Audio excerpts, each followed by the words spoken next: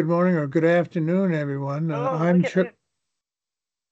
I'm Charles Schaefer from the state of Minnesota's Small Business Assistance Office, part of the Deeds uh, Office of Small Business and Innovation.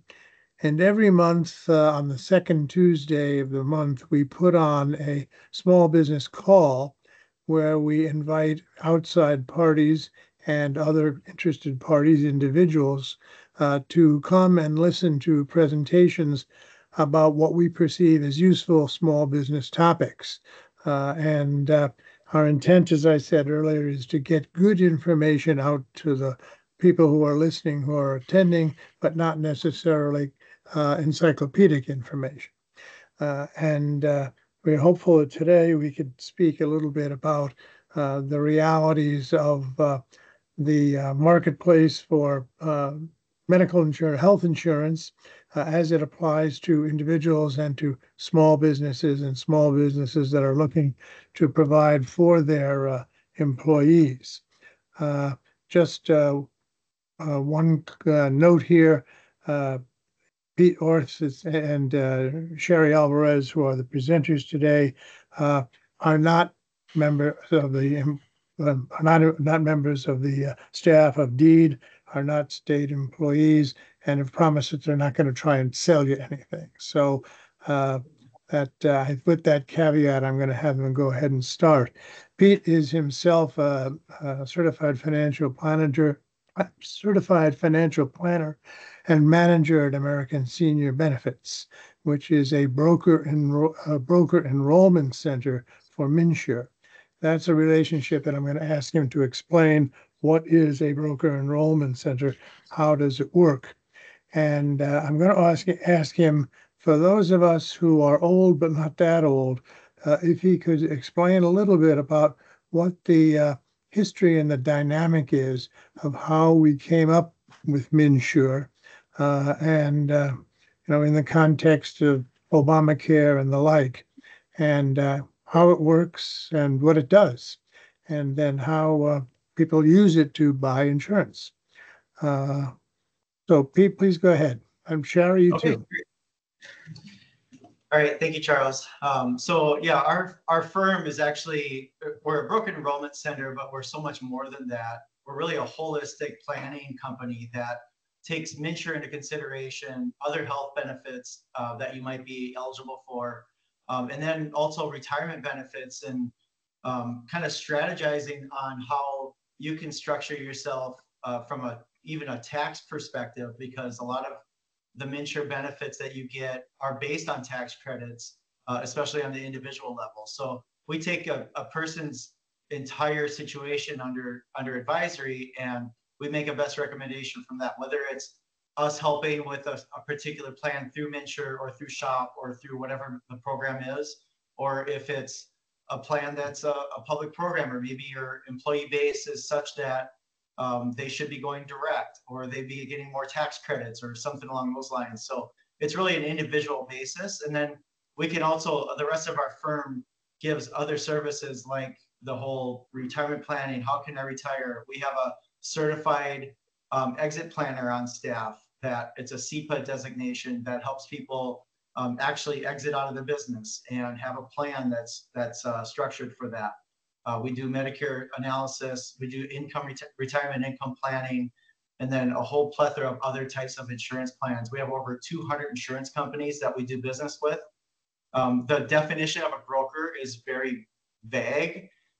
Uh, there's no real standardized criteria. You could have two or three companies that you do business with and call yourself a broker.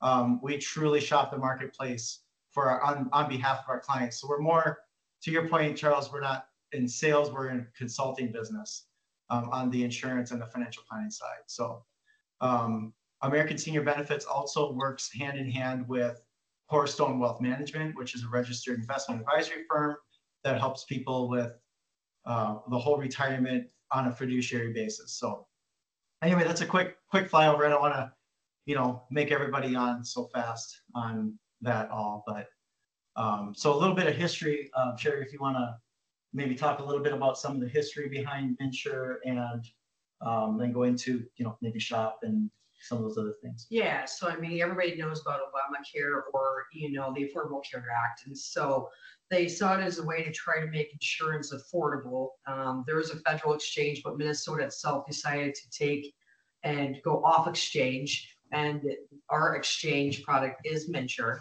And so, uh, from what I can remember, uh, came out and I believe it was 2013 or 2014.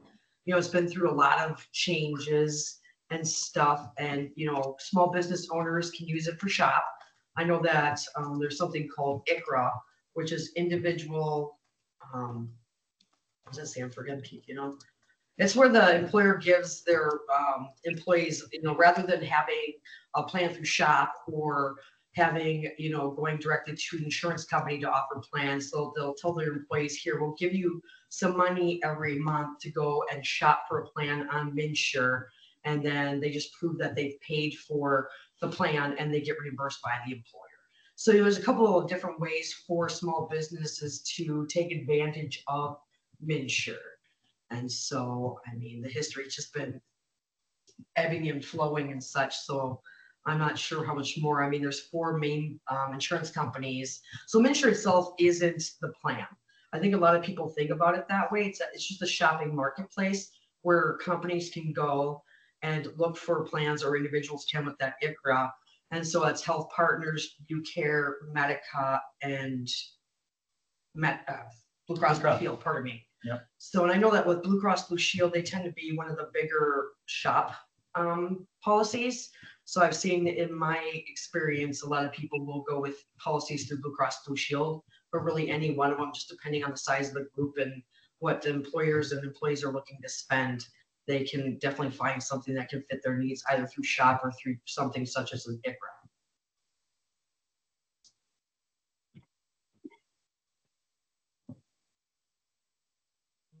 So Maybe we open it up for questions and, Well, let, you know, let me, let me begin with a question to drive some further uh, comments by the two of you.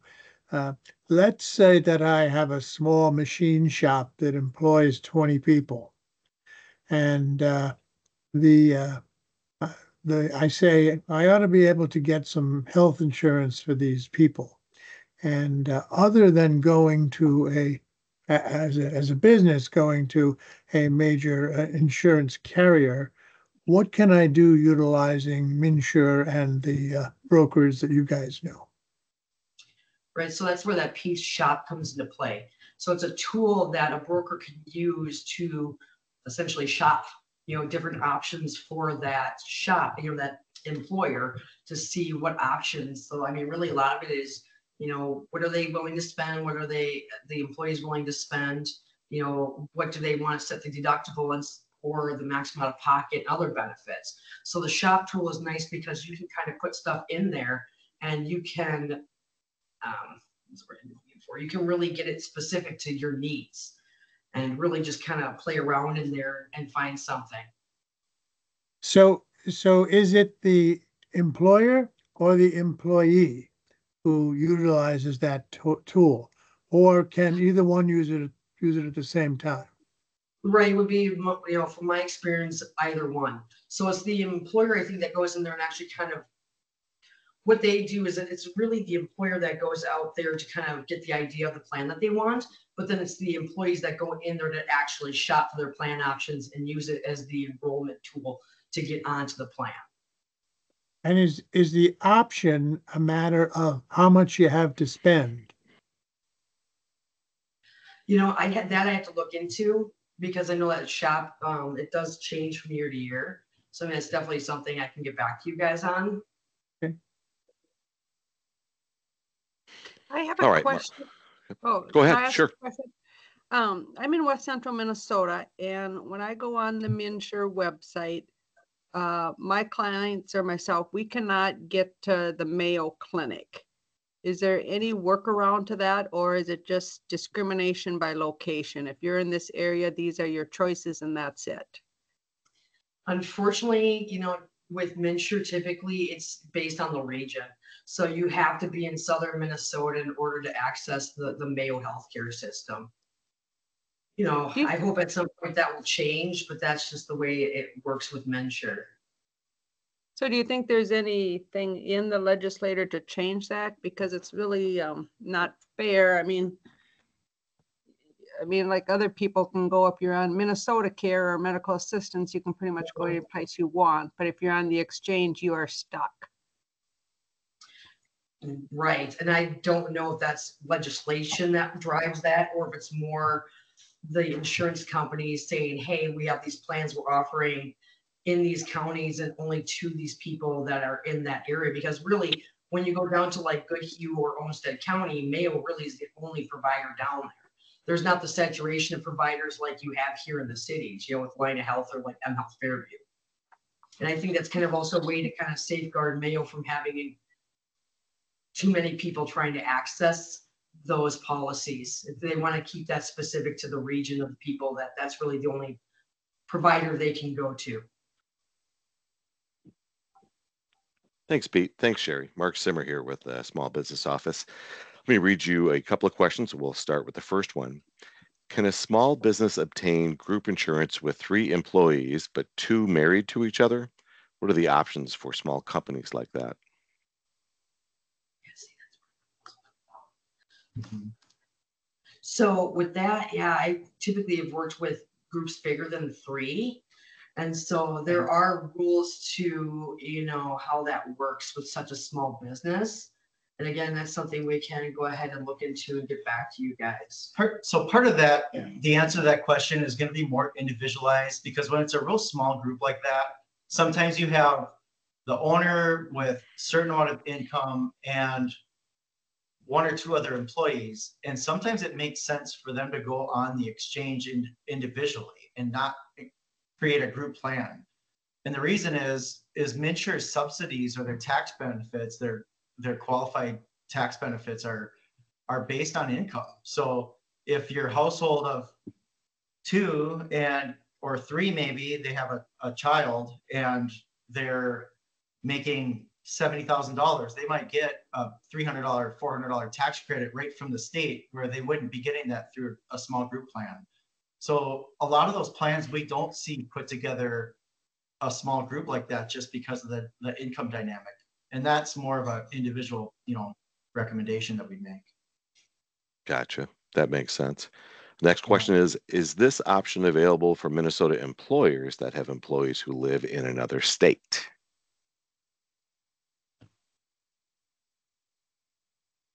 Great question. Yeah. Thinking, Yeah, I'm thinking. thinking about that. I would say yes, because the company is Minnesota based. But I feel like that would be kind of hard because if you have somebody who The lives in, regionalized network yeah, plans. yeah, the network, it wouldn't work because historically, a lot of the plans offered through MNsure don't have a good network or really a network at all outside of the state. So I would think in that case, the employer would go back to something kind of like that ICHRA I was talking about where they would Yep. offer the, the employee money to go shop on their own, either state exchange or the federal exchange to get coverage. That also makes makes a lot of sense. I, I threw a link in for uh, for ICHRA also. Uh, next question is uh, How do businesses shop MNsure functionality? Is there a website or portal? Do businesses need to go through a consultant or broker? They get to, Mark. well, I'm I'm just reading the question. Yeah, So the answer is no, you don't need to use a broker, but there's really no value or benefit to not.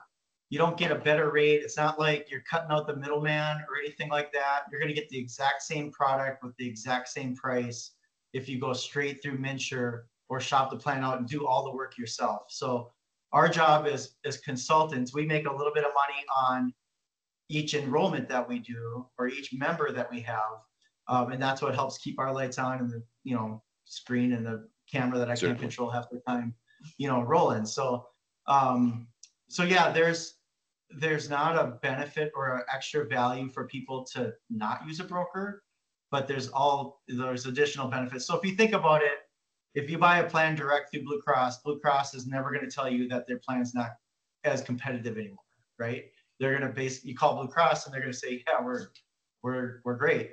Um, and we would analyze that against all the competitors and say, based on your circumstance, they may or may not make sense for you anymore. So.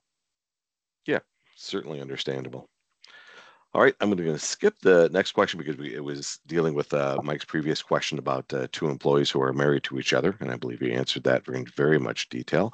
Uh, next question is, can you talk a little bit about Minnesota employers that choose ICHRA for their employees and have employees that live both in Minnesota and North Dakota, and how that all works? Different benefits, premiums. So I guess I kind of go back to, again to that, uh, you know, previous question where uh, someone was asking about if someone in another state would be able to, you know, get onto a plan. You know, ICHRA is, it's not really state driven. It'd be more, uh, you know, dependent on, you know, how the employer wants to set it. You know, what I run into is like they say, okay, I'll give this much for like the employee, right? And then this much for the family.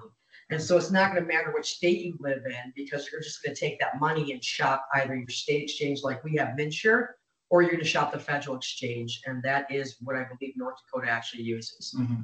So they go, what you do is they go out, they shop for the plan, and then they furnish proof to the employer each month to get that reimbursed. It's not like just something that's automatic because you can, you know, as much as I don't like to say this, you can really disenroll from a MNsure or a healthcare.gov plan at any time. So you still got to furnish proof from month to month that you're still paying that premium. Yeah. Okay. Uh, this would be, I would think, a really common question. What about if you're the only employee in your business?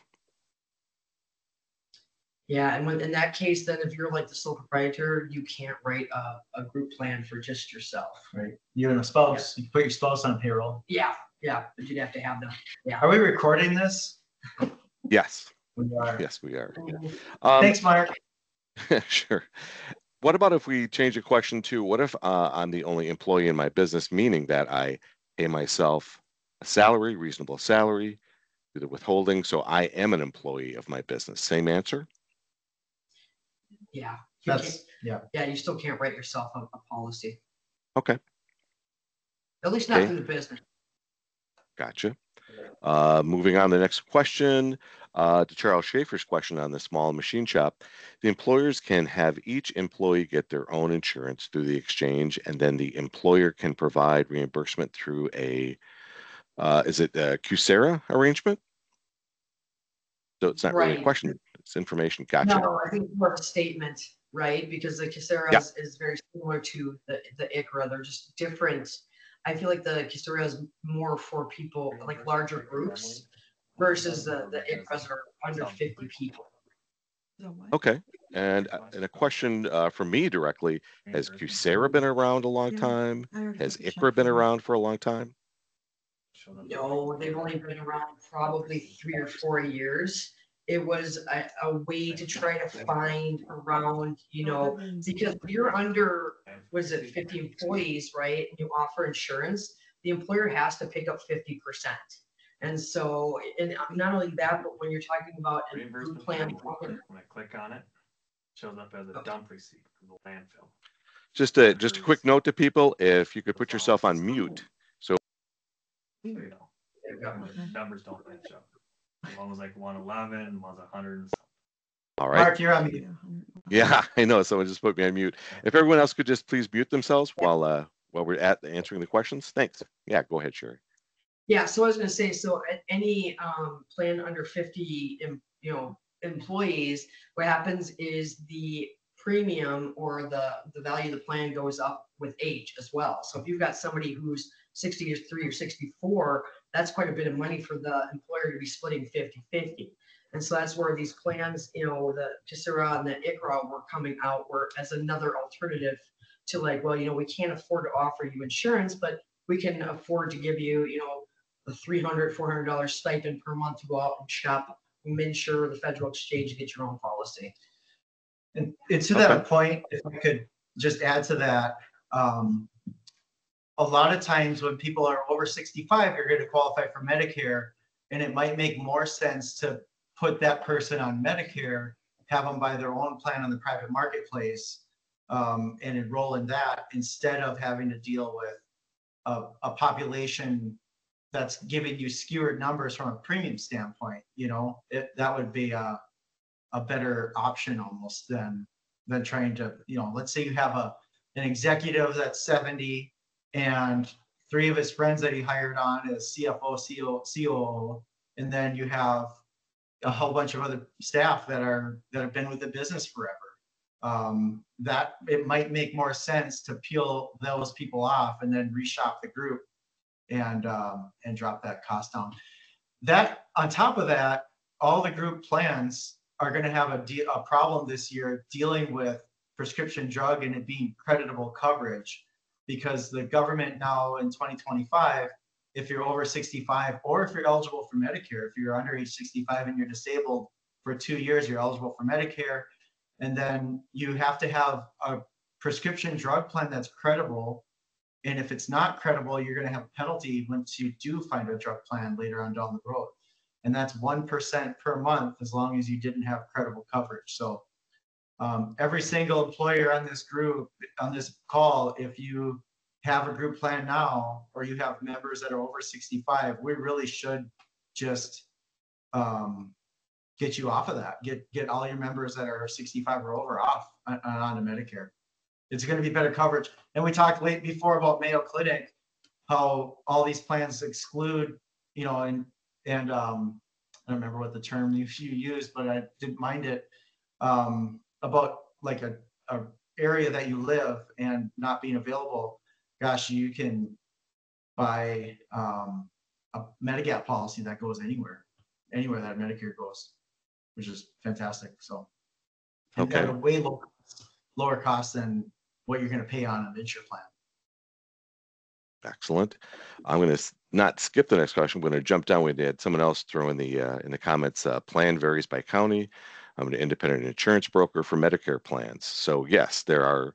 Your point is is well taken, uh, Pete and Sherry. There's there's a lot of things that uh, that people need to be aware of. There's lots of different plans, um, and I'll just put a a personal uh, mention here this is why probably employers and probably most of us need to maybe speak to a broker. You don't have to purchase through them. But here are here are the notes, here are the things that when you're shopping, you you need to know about whether you you take it from one one company or another. That's right. All right, so we'll go, yeah, we'll go to the next question. Uh, can you speak to employee eligibility when it comes to shopping through MNsure? Is there an enrollment period? Uh, my concern would be that you offer an employee reimbursement for their health insurance costs as part of their benefits package, but they aren't able to purchase a, uh, a plan through MNsure. So typically if people, you know, with the group plans, they have, they do have like an open enrollment period where they have a limited time where they can enroll in a policy. Now, as to MNsure itself, so if they're offering something like the QSEHRA or the ICHRA, you know, the open enrollment for MNsure does run from November first through December fifteenth for a January first effective date. And then December sixteenth through January fifteenth for a February first effective date. So if they don't enroll in a plan within those timeframes, then they are outside of any qualifying life event other than, you know, if there's like a birth, adoption, marriage, other kind of, like I said, qualifying life events, they have to have in order to enroll into a, a plan outside of those open enrollment periods with MNsure. Okay, good answer. Uh, what is the minimum number of employees employees consultants would be willing to look at? Two, five, 10, 20, 30? We don't have company minimums. Okay, as part of our core values, we don't believe in, uh, we believe in serving the clients first, and uh, therefore we don't we don't do minimums. okay. Now we're going to flip that question to go to a very detailed question. We have 65 employees, but only six use our Medica plan with a 50% employer payment. The rest of the employees uh, go on the exchange coverage. How can we determine if we are better off doing ICHRA or offering uh, Medica at around 20K per year cost to the business? We would sit down and analyze that. right? Yeah. Like we could, we Yeah. could see if Okay. we can, That's not just something we could throw out there right now, Yeah. because that's something that would have a needs analysis, because, you know, um, if they're paying fifty percent, yeah, you'd almost have to see what the employer really is willing, if they're paying twenty thousand right now just for six people, I mean, Yeah, we'd have to take a deeper dive and have a conversation with, with that employer to figure out what exactly it is they're hoping to get out of it. Yeah, and I, I, I, I think that's an, an excellent answer because you really need to understand what you are shopping for. It's mm-hmm. like the- with your example of if you go to any insurance company, yeah, they're they're going to tout their their product, which that is what they're supposed to do. But to have a independent or another set of eyes or two sets of eyes looking at it would be really useful for for a business owner. Mhm. All right, let's go down. Can Ooh, I slip see. one question in here, Mark? Absolutely, yeah. Uh, and it's, it goes back to some of the stuff that Sherry was talking about there. If you have an employee who, uh, goes and buys the plan, buys a plan on the individual marketplace, and they are a low-income person, am I correct that they get a government subsidy to help them pay for that? They might. Yes, they might, depending on And- their income. And does the subsidy come as a tax credit or an actual payment? No, it comes as a tax credit. S- Okay. Uh, It, it depends. Yeah. So it could be a, a really high tax credit, or it could be a public program like Minnesota Care or medical assistance. Based on the number of fan, of people in their household and their overall income for that household. Okay, thank you. And we would guide that, we would help, help guide that. And it, it also depends on what, where the money's coming from and what type of assets and what type, I'm sorry, what type of income. So a lot of people have what I call that phantom income out there where they might have a, a mutual fund portfolio or brokerage portfolio that's kicking out dividends. And that's gonna count against their tax credits and count against their, their uh, program. There's some ways on the, that we can help guide that and, and change some of those things to, to work towards their, to their advantage. But I do Okay. just, I do just want to say on that, if you get that advanced premium tax credit, you have to be very, very careful that you don't go over the limit that you reported for that credit, because you could end up paying that credit all back, and it could be Yep. thousands and thousands of dollars, which, you know, defeats the whole purpose.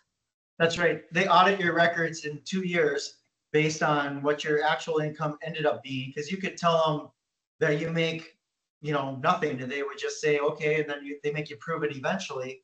But they're gonna come back and audit those records in two years and then give you, uh, I affectionately call it a chargeback.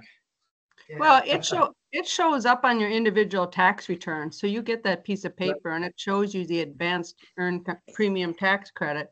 And as soon as I file that tax return, it's right on the ten forty, what you have to pay back. That's right.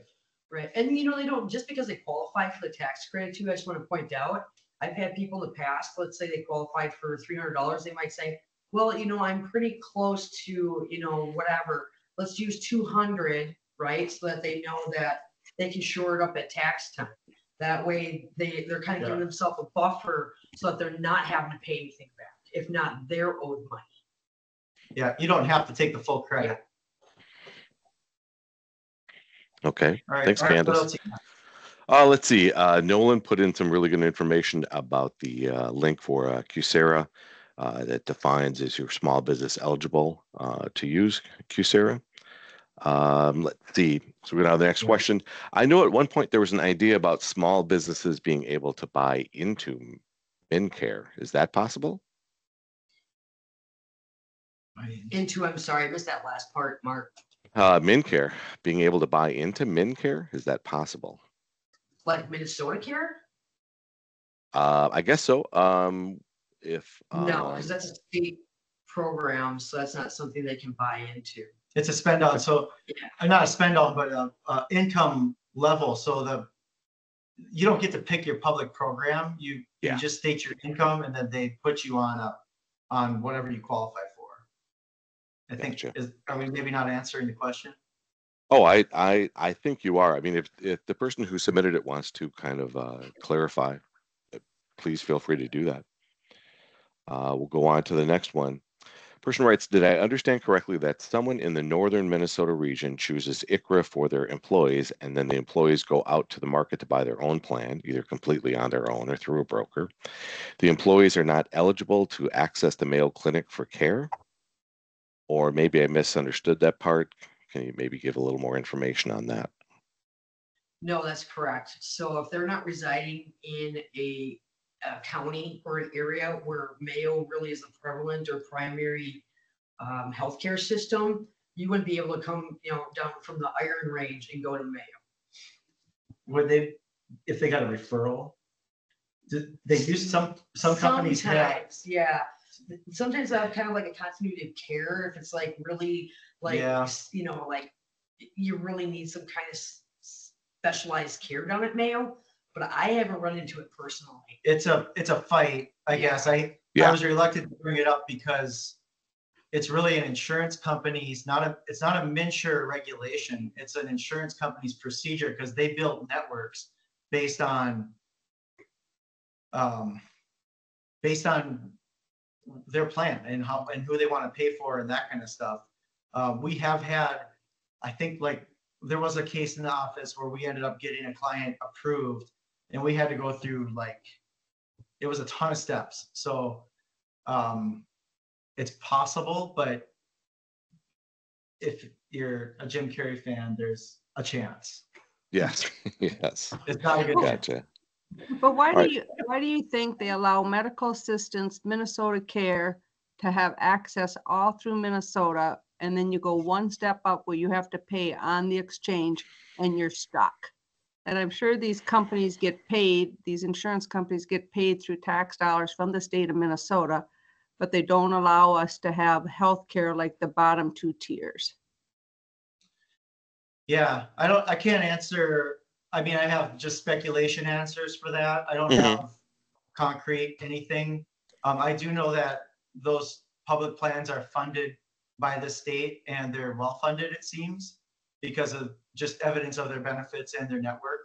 So that's more something that you should, you could hit up your legislator and, you know, how you Exactly. wanna, yeah. Uh, we have a question here, which Pete and Sherry, I, I know you can't answer. I think I can answer this one. What if you're a sole proprietor but hire independent contractors, not employees? Um, if they are independent contractors, you do not need to provide health, health coverage for them or health care.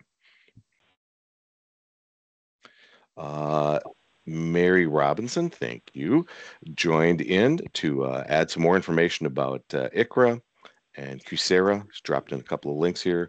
Mary's with uh, directly. Um, we've got a question from Brianna. I was told employees 65 years old and plus can't buy a plan on the marketplace, so then they are forced to go on Medicare. Is that true? Um, yeah, that's, that's true. You're ineligible once you're over sixty-five. The real answer to that though is why would you want to?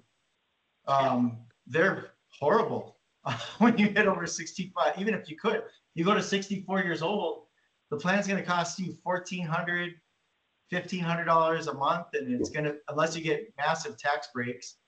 And, and then you have a really limited network and then you have a deductible to hit like I would say you get to in that case, right? Like it, when you look at the numbers, it really doesn't make any sense to not go on Medicare once you're 65 in, in Minnesota. Yeah, because I Okay. know a lot of the people I helped, you know, going up while they were transitioning between like Venture and Medicare, how relieved they were to go Yeah. from paying twelve hundred dollars a month down to, you know, let's say even on the high end, three hundred dollars. I Right. that's an eight hundred dollar savings. Why would, why would they want to go through Venture? So the, and really, the cases where we've seen where we've had people stay on their group plan, and we're not talking about, you know, our, our, our conversation today, but it would be more like the, the large employers that are subsidizing more than fifty percent of the premium. Sometimes that makes sense for people to stay on and not go on Medicare. But again, you got the Part D pro- problem that's coming up in twenty twenty-five where their drug plan would have to have a max out of pocket of two thousand dollars in order for it to be credible. And we're not, we're not sure that that's gonna happen with a lot of plans. Assuming that most of these people on the call are, are small employers, um, you're gonna, you're gonna want to show your employees Medicare if they're on sixty-five, because it's, it's just better. Okay. Uh, Lynn, our other uh, broker that uh, um, added a, a question here, also added in the cap is at 200 this year for meds. I would assume that's Two $200. thousand, She meant two 2000. Gotcha. Okay. Yep. Uh, question here from Nolan. Is MNsure the only option for small businesses based in Minnesota to seek health insurance plans? So MNsure, no, they could go, always go directly to the Okay. insurance companies. There's a lot of, um, employee or employers that will go and do kind of like a bid out to the, like I said earlier, the four main carriers and see who comes back with a better bid. Yeah, it's really actuarially similar though, right? Like they're, they're not using different group numbers. It's all actuarially seems to be the equivalent is what our math is showing. So it doesn't seem to make a, like it's better, you know, like it's better. No, I think it's just with MNsure using the shop tool. Yeah, otherwise, you know, um, a business going out, it's broker driven really for some of those different tools that you use outside of MNsure. Right, right. Okay. And then you want to talk about other group benefits like long-term disability and life insurance and all those types of other plans that we would just write on the outside of, of the exchange. Okay. Uh, David has a question here. What are the current Minnesota state guidelines for what businesses are required to provide some kind of health insurance option? I don't think there's anything that states an employer has to offer coverage. It's just a matter of if they're gonna offer coverage, they have to offer it to, you know, a certain amount of their employees. I guess that's something you have to look into. Mhm. I don't, think they have to offer it. Yeah, that rule's changed over the years, so I'm not Yeah. hundred percent. Yeah, that's that question kind of comes up in the uh, in the course of, of what we do in our office. Um, the way I usually explain it is it's it's certainly a benefit that employers see that they can offer their employees. But am I correct, Charles? There is no there's no statutory requirement to provide healthcare coverage. You are correct. There, there is none. The statutory requirement comes with what's in the coverage. There are some things like mental health benefits and so on that you can't leave out, but you're not required to offer anybody anything. Okay. Uh, we have a question here. We have four locations under one corporation. The number of full-time equivalent employees changes monthly. We hire a lot of teenagers, and very few of our employees want to be on a company plan because we can't afford family plans. Will families lose their current plans if we offer a health insurance plan? Hmm, that's a good question. The answer is maybe. Yeah, So I would, MNsure is your tax credits through MNsure. If I'm an individual and I'm going through the state, if my employer offers plans, then I, I won't get tax credits unless the plan is more than, what is it, nine point eight five percent of your adjusted gross income, something along those lines that you can, Charles knows this answer better than I do, I think. Uh, but it, it's basically, um, if your, your plan's deemed unaffordable, if it's over nine point some percent of your adjusted gross income as a family, then you can go on the exchange and get tax credits. So it, you effectively could harm your employee by offering a plan if they're getting heavier tax credits on the open market, if that makes sense. You are, you are correct there but the nine point eight. Yeah.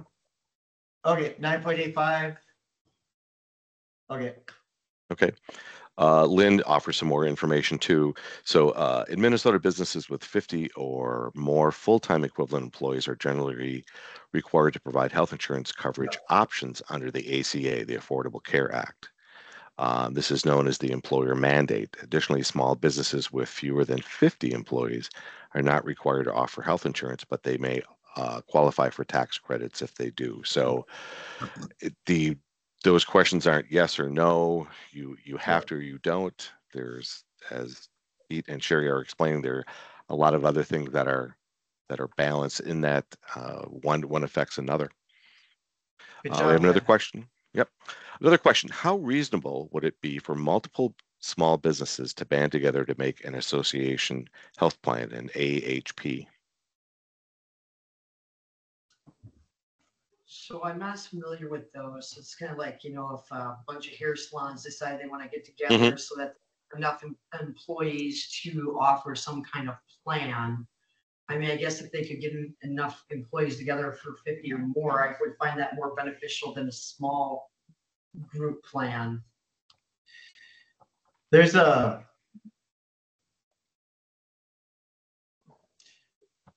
If it's, if they're contractors, like it's a association, but everybody's in really independent. I think Mhm. there's an argument to be made that there's a slippery slope that we're walking on because you're, from an IRS perspective, you're creating an employer group, right? With a bunch of ten ninety-nine people. Anyway, Okay, the, the way, the multiple layers of laws that are written in this country, I'll just say I would stay away from it. okay. Uh, we did have Does that someone make sense, throw, Mark? yeah, I think so. We had someone throw in a, um, a link to the uh, Minnesota Department of Commerce. They're, uh, they cover all the, the insurance industries in Minnesota. Um, and they're talking about association health plans. So I, I'm, I'm uneducated about that. I would, I would check out that link from, uh, Minnesota Department of Commerce. And then there's another link in here for some information, uh, earlier about the, uh, the MNCare. I'll go on to the next question.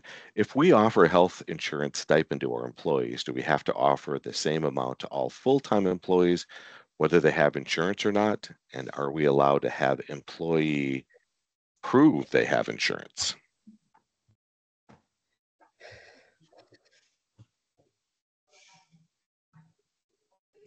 I don't know. Yeah, I'm thinking about that. So I mean, hmm um, with that, so they're saying that would they be able to offer different options to full-time employees? Um, and then if, I guess it's kind of like a, there might need to be some clarification on The that. HRA Sure. plan, so the Yeah. reimbursement account. Yeah, that or like the ICHRA type stuff, you know, like can they offer different um levels of like ICHRA? I think I kind of saw that question before and I think maybe it was geared more towards that. Where Yeah. yes, they offer different amounts, not necessarily to, you know, full timers, but like, you know, part timers. So, and you know, a lot of them from what I've seen or read about, it's like, okay, again, it's like, okay, if it's employee only, we'll get this much, if it's employee plus spouse or family, da, da, da. It's a different amount based on full-time or part-time. And if an ICHRA is offered, they do have to prove that they are paying that premium every month in order for them to get reimbursed.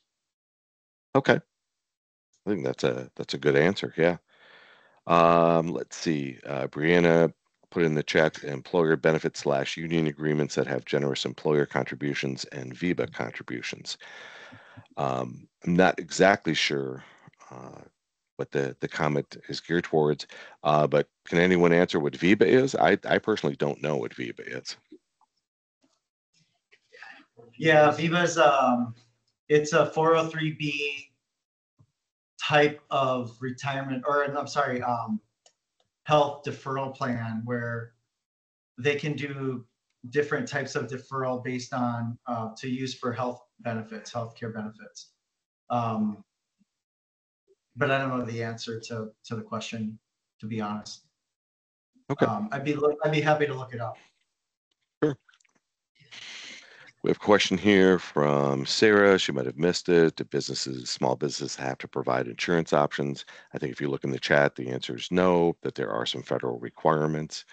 Um, Mary's adding in an additional small business resource is the uh, Minnesota Department of Commerce. Again, there's a link to their industries and small business information. Um, yeah, yes, Lynn, I do not know how to pronounce your, your last name. Shinyi, there we go. Uh, so thanks for uh, for helping out with that. Is there a straightforward, another question, sorry, is there a straightforward average salary amount that you are aware of where it makes more sense for employees to seek insurance individually? Yeah, so it's based on household income. So you can actually go to MNsure's website and type in, you know, it's based on your age, your household status, how many dependents you have, spouse, that sort of thing, and then your income. And it's wildly different based on your age and, and income and that sort of thing. So the best answer to that is we just do the math backwards on what your employee's average income is. It's really individualized. So I don't even know that an employer can ask that type of stuff. I, I think that's, there's probably tripping over some privacy laws with all that. Sure. Um, but we can, you know, we can, we can dial that in for them. So Okay. Great. does that answer the question, I guess? Is there? Oh, I, I, I think so. Yeah, it's, it is Okay. not if A, then B. If it's A, then you have B, C, and D that may lead to E, F, and G. Absolutely. Uh, Brianna is adding in some more information on ICHRA. Um, and then let's go down to Mike's question here. Can a business have a HSA plan if all employees have individual health insurance plans? The HSA, the HSAs are when you have a qualified high deductible health plan that's offered. Or even like out on MNsure itself, there are some plans that are HSA eligible. Now, something you gotta be careful of when you have um a high deductible health plan with an HSA is if someone has a spouse that is also on an HSA plan through their employer, there are limits to how much can, that can be contributed to those accounts. So I think what Sherry's saying is kind of what I alluded to before. Some of these Mhm. rules are, are overstepping other IRS guideline rules, right? So um, it's, you kind of have to know the whole picture before you start to do this. HSA, in my opinion, is one of the first retirement planning vehicles I fund for our clients.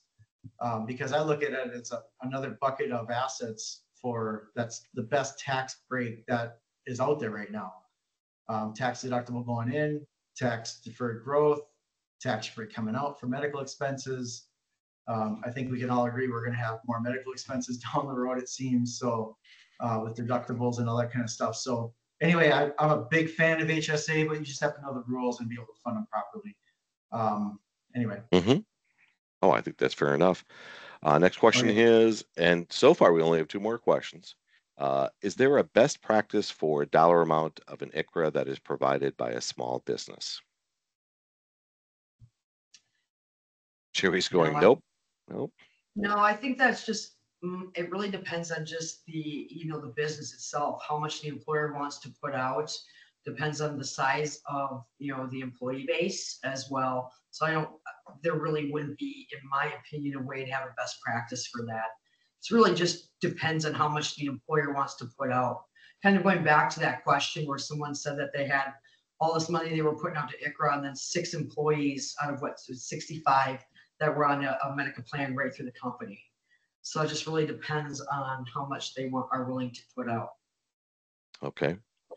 Uh, Nolan added in here a link to the uh, income guidelines through uh, through MNsure um, that people can, can look at. Um, let's see here. Uh, can we get a, just another quick explanation of what ICHRA is? Just a high level summary of that.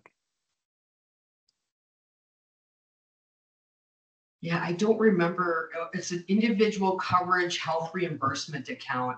So again, basically what happens is an uh, employer offers their employees, uh, like, I guess kind of like a stipend.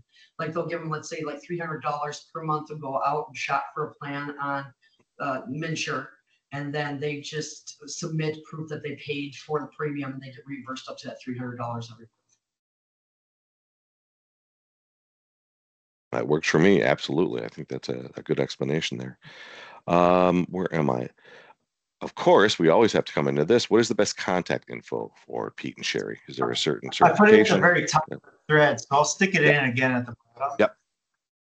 Yep, So Sherry's and- yep. best point of reference, um, for questions, comments, that sort of thing, from a high level or a financial planning standpoint, I would be a really good contact. Um, then I'll put my phone number in for that. Uh, you can text and call that number.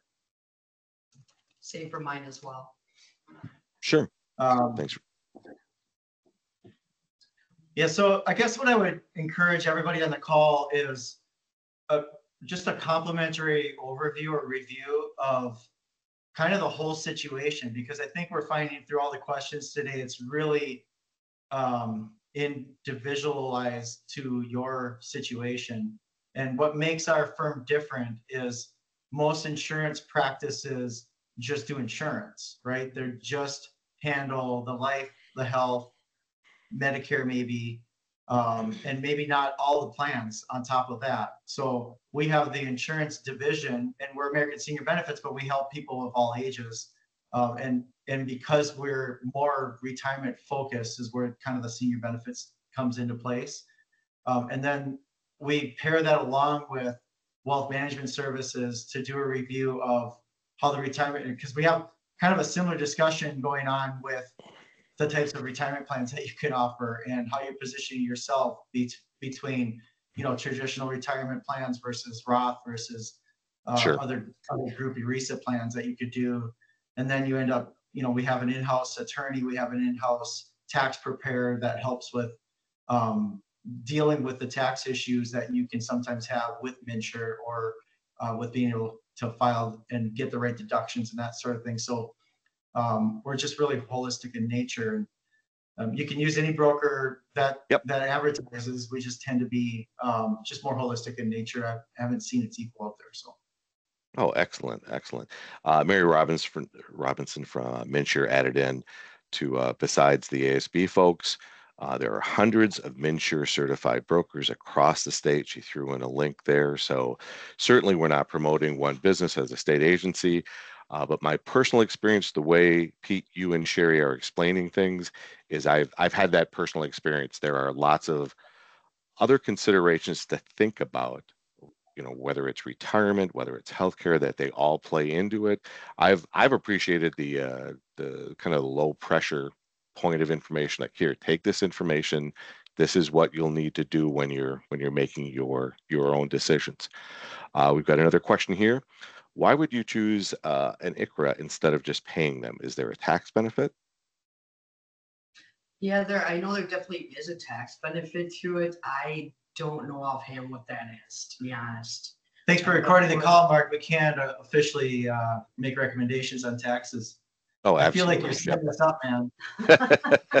I, we, we we are taking the we are taking the questions as they come in, but that is a, a, a real good example of people have a lot of questions and they they you know it's it's they're trying to find a good resource for that. So sometimes you have to ask and have people say, well, if if you if you can come in and speak with us, yes, we could do that. In this kind of a public forum, no, I mean we we also same thing with uh, with starting a business. I mean every situation's a little different. There are different considerations. You may need a license or permit for this. So um, yeah, we understand that we're not uh, we're not going to be able to answer every every question. Yeah, and Uh, ultimately, that's why we pair, we partner with a tax professional in the office to really give good guidance on those topics and, and Yep. make sure people are taking the, the best, um, make, you know, making the best of the rules that sit. So when you think about it, our system, so we've got, you know, MNsure tax credits, and then that we can't render advice on taxes. And then Yep. you've got the actual tax, IRS tax code. And then you've got retirement and financial planning, and you've got social security and income planning. And It's just the list and the overlay goes on and on and on.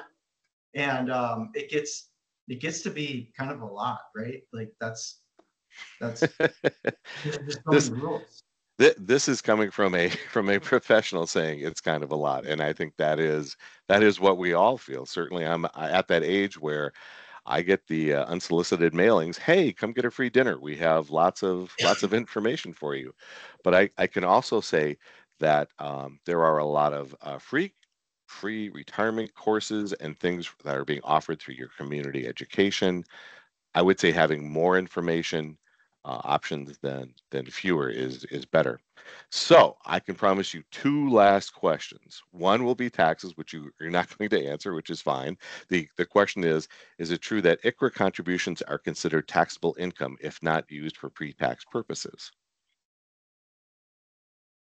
Yeah, if you're gonna take a deduction for something, and use it for what the, like, same thing with the, as an HSA question, right? If you pull money out of your HSA and it's not for a qualified IRS approved qualified deduction or deduct, uh, allowable distribution, I should call it, then there's gonna be income tax and penalties. Yes, I, I would agree. That's the, the, the general wisdom that we try to uh, impart to uh, people who ask us tax questions. What you're, what you're claiming, have proof, be able to, to explain it and have documentation. All right, our last question. Is there a standard waiting period you see for new employees to get health insurance? For example, 90 days, six months, a year? No, I think that's just ultimately up to the, excuse me, the employer.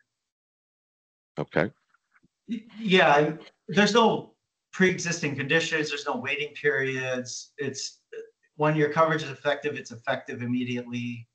Um, where people get caught, I think, is they didn't buy a plan during a qualified enrollment period because of their employer didn't offer it, or they didn't go into the exchange on the right amount of time, they missed the enrollment window, they're locked out.